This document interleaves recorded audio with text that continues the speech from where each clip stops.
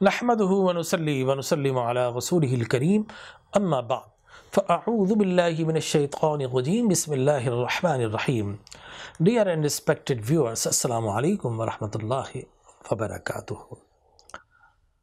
Respected नाजीन किराम माह रमज़ान और माह रमज़ान में हसीन इबादत रोज़ा और फिर रोज़े का अख्ताम होते ही अल्लाह के क़ुरान की तिलावतें और समातें क्या अजब माहौल है सहरी हो तो बड़े तो बड़े बच्चे भी जाग जाते हैं। और पता चलता है कि रौनक़ें हैं। फिर अफ्तार की अपनी रौनक़ें हैं। पूरा माहौल मअतर और मंबर हो जाता है।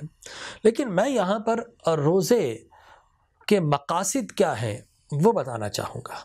रोज़े का मैंने जो एनालाइज किया है, वो सबसे बड़ा मकसद क्या है कि रोज़ेदार को एहसास होता है कि मेरा रब मुझे देख रहा है।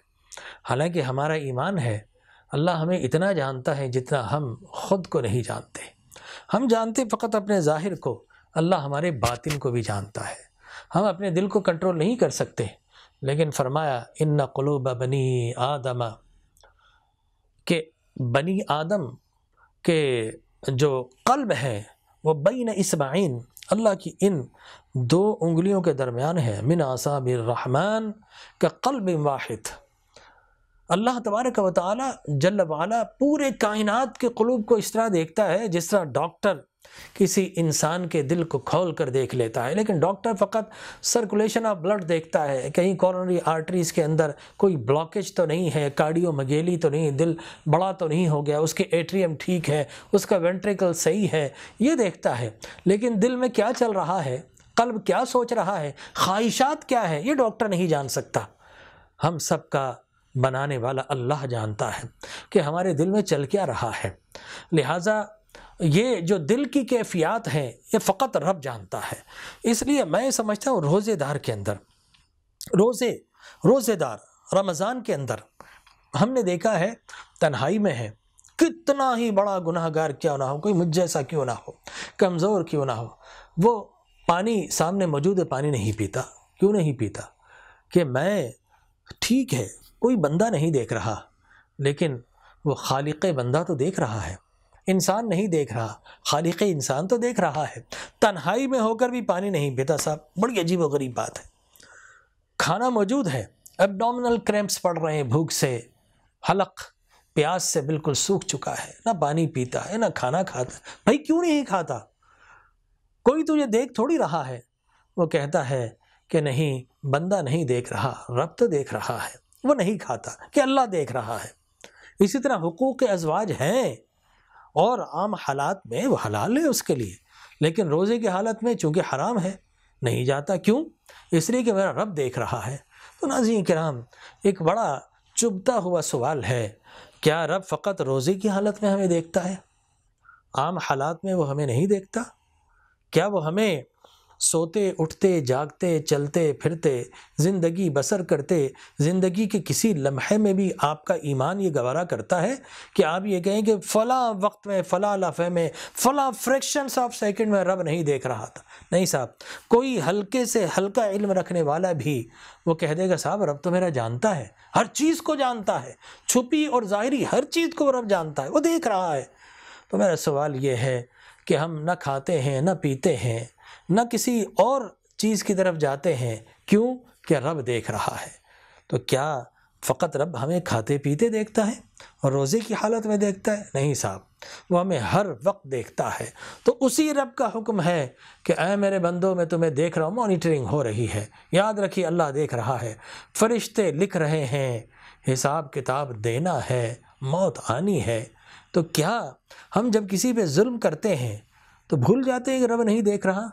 रब उस वक्त भी देख रहा है। हम किसी की हक तलफी करते हैं, भूल जाते हैं, क्या रब नहीं देख रहा? नहीं साहब, रब देख रहा है। हम मेरिट को पामाल करते हैं, दूसरे का हक खुद ले लेते हैं। तो क्या रब नहीं देखता? रब देखता है।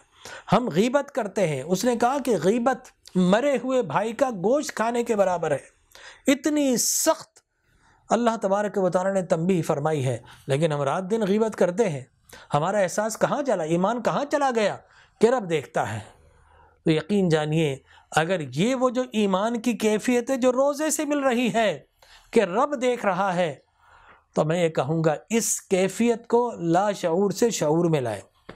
रोज़े की हालत में आप क्यों नहीं खाते पीते?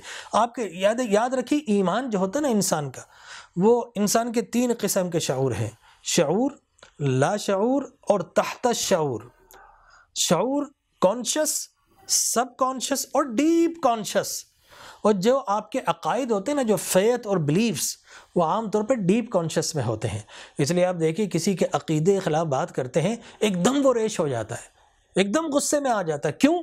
इसलिए कि वो उसका जो डीप कॉन्शियस है, वो टेक ओवर कर लेता है। उसका सब कॉन्शियस कॉन्शियस को टेक ओवर कर लेता है। इसलिए हम कहते हैं कि मजहबी मामला बड़े हसास नोयत के होते हैं।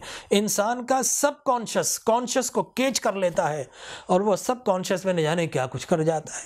लिहाजा याद रखिए, ये जो रोज़ा है ना अब अल्लाह देख रहा है ये कहाँ पर है? हमारे डीप कॉन्शियस में, हमारे सब कॉन्शियस में। लेकिन रोज़ा वहाँ से निकाल कर स्टोर से निकाल कर, आपके ये सेरिब्रल हेमिस्फेयर जो दो है ना, इसमें बिल्कुल उजागर कर देता है। हाईलाइट कर देता है कि अल्लाह देख रहा है। तो जब रोज़े की हालत में शूरी तौर पर आपके लाशूर से शूर के अंदर आ गया, रब देख रहा है तो मैं गुजारिश करूँगा, रोज़े का ये बहुत बड़ा फ़ायदा है, बहुत बड़ा बेनिफिट है। इसको हर काम की तरफ़ आगे ले जाएँ। कि नहीं साहब, मैं किसी पे जुल्म करूँगा, मेरा रब देख रहा है। लाशूर को शूर में ले आए, मेरा रब देख रहा है। मेरा रब वो है जो सज़ा भी दे सकता है, जो कादिर है इस चीज़ पर। जो इस चीज़ पर कादिर है कि मुझे मार भी सकता है। जितना जुल्म मैं कर रहा हूँ, उससे कहीं ज़्यादा वो जलाल में आ जाए तो उसका अजाब नाजिल हो सकता है। और मुझे मरना है फरिश्ते लिख रहे हैं, कब्र में सवाल जवाब है, हशर में सवाल जवाब है। लिहाजा वो ईमान बिल आखिरत, जिसको रोज़े की हालत में अल्लाह शहूर में ले आता है, अगर आप उन सारे अहकाम को जो रब ने आता फ़रमाए हैं, उन सबको नहीं तो फिफ्टी परसेंट भी अगर आप शूर में ले आए तो यकीन जानिए कि आपकी ज़िंदगी इतनी आइडियल बन जाएगी। आपका किरदार इतना आला हो जाएगा। आपके अखलाकियात न जाने कौन सी मंजिलों को छू लेंगे कि फिर आपको किसी को तंबी करने के लिए ज़ुबान से कहने की ज़रूरत नहीं है।